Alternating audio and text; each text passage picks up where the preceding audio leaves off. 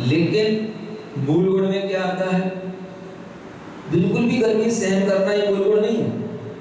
मतलब जब हमने मूल गुणों का अंगीकार किया तो हमने संकल्प ले लिया कि हम गर्मी सहन नहीं करेंगे क्योंकि हमारा मूल गुण नहीं है। ऐसा? सर्दी हम बिल्कुल भी सहन नहीं करेंगे क्योंकि ये हमारा मूल गुण ऐसे मूल गुण बनाने पड़ेंगे। है ना? क्योंकि सहन करना उत्तर गुण है, ऐसा पढ़े लिखे लोग कहते हैं। सुन रहे हो? मतलब ये कि जो परिचय होते हैं बाईस, ये बाईस परिचय में जितने भी परिचय हैं, ये सब क्या है? ये सब उत्तर गुण है, मूल गुण नहीं होते हैं। तो बाईस परिचय में सब आ गया। सर्दी, गर्मी भी आ गई क्षुप पिपासा से शुरू होता है, क्षुधा पिपासा भी आ गई। है ना? तो भूख भी सहन नहीं करना, प्यास भी सहन नहीं करना, क्योंकि ये भी फिर परिचय है, ये भी उत्तर गुण है। ठीक है? क्या करना? एक बार खाने का नियम है, क्षुधा वेदना एक बार में पूरी नहीं होती तो फिर ये तो उत्तर गुण में कहा गया है कि क्षुधा सहना, पिपासा को सहन करना नहीं, सहन होता है तो क्या करें? क्या समझ रहा है? मूल गुण में तो लिखा है, एक बार ही खाना। अब क्या करोगे? उसको सहन करोगे नहीं? तो क्षुधा पिपासा भी सहन करना अगर परिचय के कारण से उत्तर गुण होता तो उसको भी मूल गुण के अनुसार सहन करना पड़ेगा कि कोई भी मूल गुण कभी भी बिना उत्तर गुणों के सहन करने में आ ही नहीं सकता। ऐसा हो ही नहीं सकता कि हम मूल गुण को बिल्कुल अलग रख दें और उत्तर गुण को बिल्कुल अलग रख दें थोड़ा बहुत तो उत्तर गुण को पालन करना ही पड़ेगा। हा? हमें बिल्कुल भी, अगर मान लो सर्दी गर्मी सहन नहीं होती है तो आप मूल गुण का पालन भी कैसे कर पाओगे? क्योंकि मूल गुण में क्या लिखा है? स्पर्शन इंद्रिय विजय। ये भी एक गुण है कि नहीं? हाँ? अहिंसा महाव्रत, ये भी एक गुण है कि नहीं? गुण नहीं? चलो ठीक है गुण का पालन करना कर लो अब, पर पालन करके बताओ। अहिंसा महाव्रत का पालन करो, स्पर्शन इंद्रिय विजय का पालन करो, ये भी गुण है। और जब ये पालन होंगे तो थोड़ी बहुत सर्दी, गर्मी आपको सहन करनी ही होगी। है ना? इतनी तपस्या नहीं करो कि उससे आप गिर पड़ो, मर जाओ, अकाल में मृत्यु हो जाए। इसलिए मना किया कि इतना सहना नहीं है तो इतनी तपस्या नहीं कर सकते, कोई बात नहीं। लेकिन इतना तो तब करो कि मूल गुणों का पालन अच्छे से होता रहे। हाँ? तभी तो तपोभ्रत कहलाओगे। नहीं तो फिर यही स्थिति बन जाएगी। कि गुरु तो है, लेकिन तपोभ्रत नहीं है क्योंकि तपस्या तो किसी तरह की करना ही नहीं है। शरीर को कष्ट तो देना ही नहीं है, ये तो सब उत्तर गुण हो गए ना? अब नाग्नि भी, नग्नता भी जो है ना, ये भी एक परिचय में रखा हुआ है। बाईस परिचय होते हैं ना तो उसको देखो कितने सारे परिचय हैं। और परिचय कोई सेना ही नहीं, क्योंकि ये सब क्या है? ये सब उत्तर गुण है, ऐसा कहते हैं लोग, है ना? तो अब नग्नता भी नहीं सहना तो अब क्या करना? अब इधर तो कहा है कि त्रिकाल दिगंबर रहना। मुनि दीक्षा लिए तो नग्न ही रहना, और वहाँ पर एक नग्नता परिचय अलग दिया है। सुन रहे हो? और वो परिचय सहन तो नहीं होता, कोई बात नहीं, लेकिन नग्नता तो बराबर बनाए रखना है कि नहीं? तो उसको भी ढाक लिया। कुछ ना किसी समय पर। क्या समझ आ रहा तो क्या हो गया? वो नग्नता भी जो एक मूल गुण था 28 मूल गुणों में वो भी गया। क्या समझ आया तो ये मूल गुण उत्तर गुण परिसर, ये अलग ये अलग, ऐसे करते करते तो बचेगा ही है? एक तो ये स्थिति होती है कि हमें मूल गुणों का पालन करना है तो उसके लिए जो भी सहन करना पड़े हम करेंगे, और एक व्यक्ति ऐसा छटनी कर रहा है, ये अलग कर दो, ये अलग कर दो, ये अलग कर दो, फिर क्या बचेगा? मूल गुण भी पालन करने में नहीं आ पाए है ना?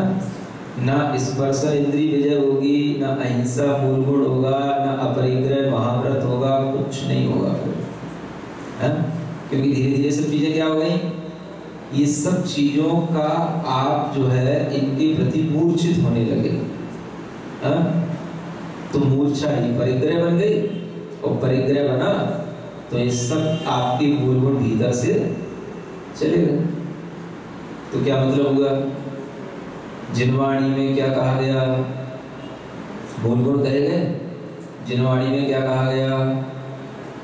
अहिंसा का, अपरिग्रह का स्पर्शन इंद्री विजय का, रसना इंद्री विजय का, ये सब मूल गुण है कि नहीं? रसना इंद्री रोध स्पर्श इंद्री रोध अट्ठाईस मूल गुणों, नग्नता, एक बार भोजन लॉन्च, ये सब क्या है? ये सब मूल गुण है कि नहीं? इन मूल गुणों का पालन भी अगर इन्हीं सूत्रों के अनुसार चला जाए तो दुनिया में कितना ही परिवर्तन आ जाए, कितने ही तरह के उपकरण बन जाए, कितनी ही टेक्नोलॉजी आ जाए, ध्यान में क्या रखना है? मूल और उसमें भी कौन से? अहिंसा महाव्रत, अपरिग्रह महाव्रत, ये ध्यान में रखो तो सब समस्याओं के समाधान वहीं पे हो जाए। हम्म? अब क्या भगवान ये कहते करेंगे कि अभी जो है मोबाइल आएगा, फिर बाद में दस साल बाद फिर भगवान के ज्ञान में आए, फिर भगवान बताएँ, फिर बाद में हाँ इंटरनेट आएगा, फिर टू जी आएगी, फिर थ्री जी आएगा, फिर फोर जी आएगी, फाइव जी आएगी। ये सब लिखने की चीज़ें शास्त्रों में, है। ये क्या लिखने का मतलब? जब वो रास्ता ही नहीं आपका तो उस रास्ते की बातें क्यों कर रहे हाँ? आजकल लोग कहते हैं कि शास्त्रों में लिखा ही नहीं। अरे, लिखने की ज़रूरत ही क्या? जो रास्ता है नहीं आपके ये कह दिया, अपरिग्रह महाव्रत, अहिंसा महाव्रत। अब आपको उसकी बात ही समझ में नहीं आ रही तो आपको कितना भी समझाते जाएँगे तो ये तो डिटेल का कोई अंत ही नहीं होगा फिर आगे और न जाने क्या क्या होने वाला है। क्या क्या होगा? हा? अब आप कहोगे, कहाँ लिखा प्लेन में नहीं उड़ना। हम प्लेन में उड़ेंगे। जो जो नहीं लिखा शास्त्रों सब करना है। समझ आ रहा है? हाँ। एक दिन ये भी आएगा। कहाँ लिखा है? शास्त्र में पूछना पड़ेगा।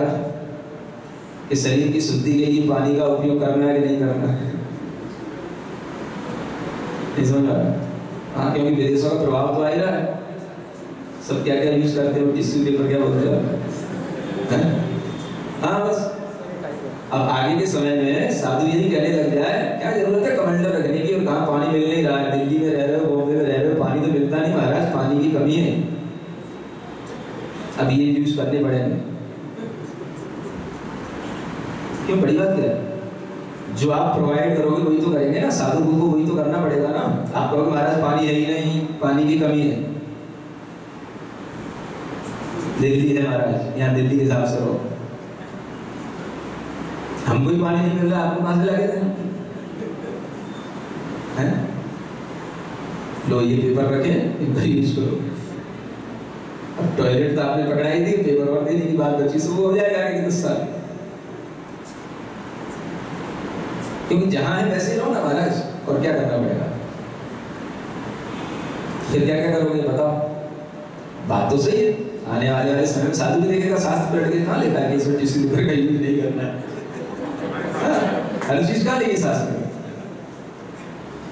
बिल्कुल सही बात। है एक दिन वो भी आएगा जब भोजन भी करना है तो कभी शास्त्र में देखना पड़े, भोजन मुँह में ही करना है, मुँह में डालना है कहाँ लिखा है कभी ये भी पूछना पड़ जाता है ये भी पूछे बड़ी साधुओं से।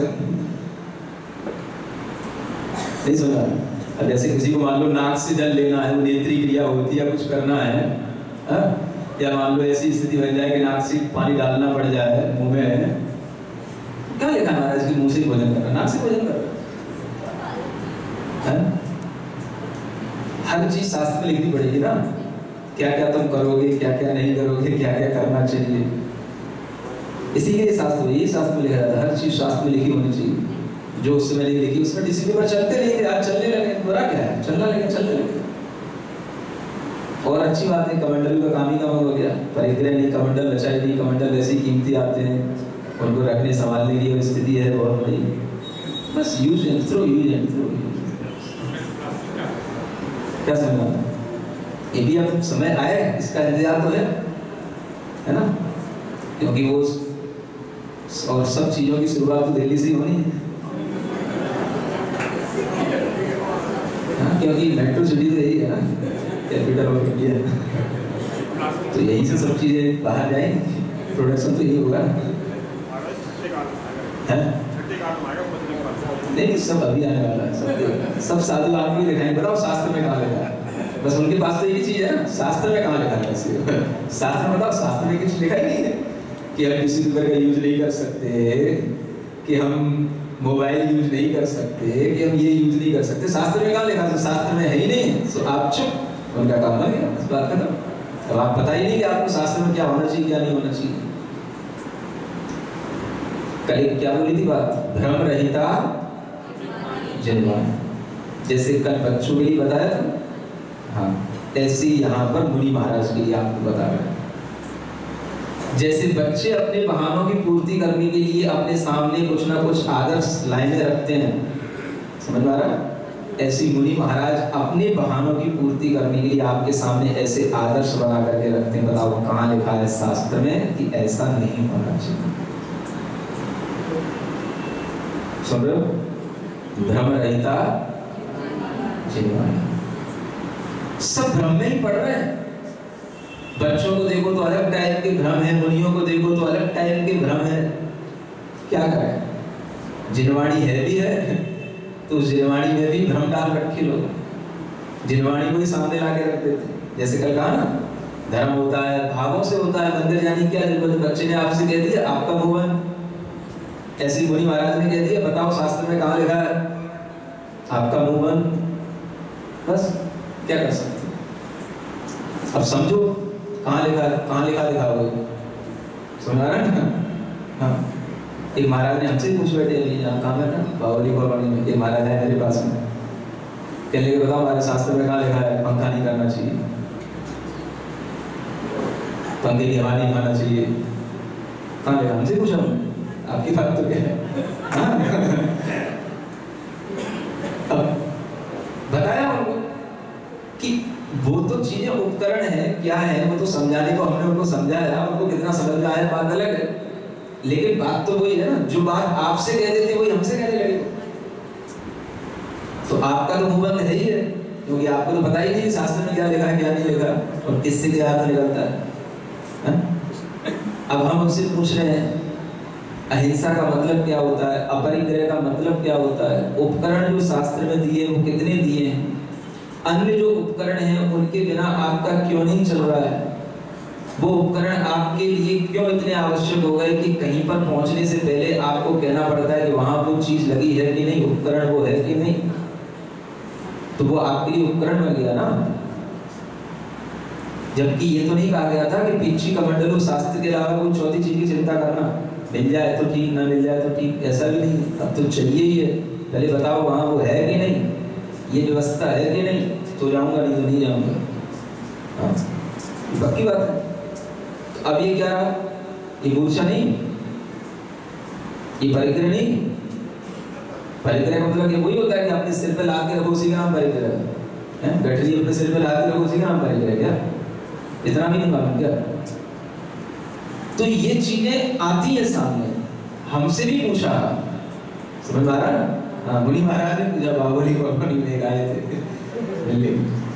कहते लगे महाराज, कहाँ लिखा है? कौन से मूलाचार में कहाँ लिखा है? कि पंखा नहीं करना चाहिए, पंखे का सेवन नहीं करना चाहिए। अब क्या समझे? वायु का जीव क्या होते हैं? वायु का जीवों की हिंसा कैसे होती है? वायु का जीवों की हिंसा से कैसे बचाया जाता है? अहिंसा महाव्रत में वायु का जीवों की हिंसा से बचने को कहा है कि नहीं कहा है? कुछ नहीं। उपकरण क्या होते हैं? कौन से उपकरण हमारी अहिंसा को बचाने वाले हैं? कौन से उपकरण हमें आलसी बनाने वाले हैं? कौन से उपकरण हमें और जितना भी हमारे महाव्रत है, उनको मिटाने वाले हैं? उपकरण तो वो होते हैं ना, हमारे ऊपर उपकार करे। अब ये उपकार हो रहा है कि और ये अपकार हो रहा है? क्या हो रहा है? एसी में बैठ करके सामायिक होती है कि नींद लेते हैं? क्या होगा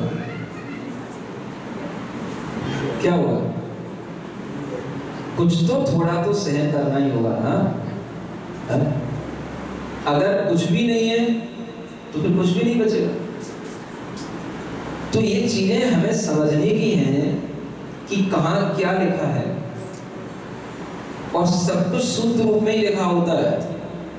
थोड़ा बहुत व्यवहार की चर्चाएँ जो होती हैं, जो मुख्य मुख्य जो होती हैं, जो हमारे लिए मतलब उपयोगी होती हैं तो उनको भी आचार्य ने शुद्ध रूप में ही लिखा अब आचार्य कहते हैं उपकरण है। और उन उपकरणों में ये भी लिखा है कि उपकरणों में ये भी ध्यान रखना कि जो आपके ऊपर उपकार करे, उसी को उपकरण समझना। अच्छा कुंद देव प्रवचन सार में आगे बताएँगे, कहेंगे कि वो लिखते हैं, उपकरण में क्या आता है? साधु का, साधु से भी आपस में विकता नहीं होना चाहिए। ये उपकरण है। क्योंकि वो आपके ऊपर उपकार नहीं हो रहा है। चर्चा उतनी करो, जिससे आपका ऊपर उपकार हो। माने आपका ज्ञान बढ़े सम्यक ज्ञान की बात हो, शुद्ध आत्मा तत्व की बात हो, वो तो ठीक उपकार है। और इसके अलावा अगर आपस में बैठ के विकता करने लगे तो उस तक का मना किया क्या समझ में आ रहा है? समझो तो सब कुछ है नहीं समझो तो कुछ नहीं। जब साधु का, साधु के साथ भी विकता करने को मना किया है तो साधु श्रावक के साथ कैसे विकता कर सकता और साधु को अगर श्रावक से निपटा नहीं करना तो उसे मोबाइल की ज़रूरत क्या? हाँ? ज़बरदस्ती आशीर्वाद देने से क्या